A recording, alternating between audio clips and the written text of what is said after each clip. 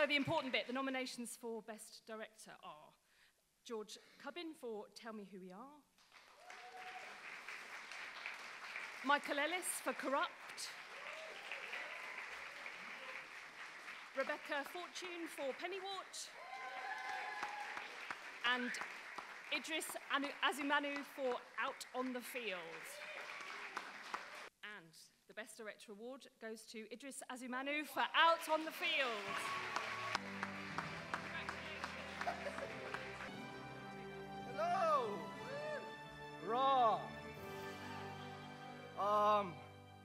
That was not the plan today, yo. I just came here to drink. yo! Wait, wait, wait! To Idriss! To Idriss! To Idriss Assoumanou! Thank you.